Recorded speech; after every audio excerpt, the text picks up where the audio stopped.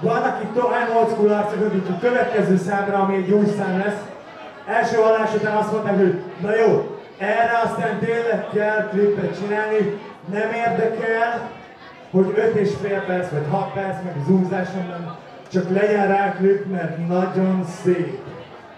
Reméljük, hogy ezzel most kellően előkészítettem azt a hangulatot, ami szükséges ahhoz, hogy élvezzétek a napkirálynőt számot.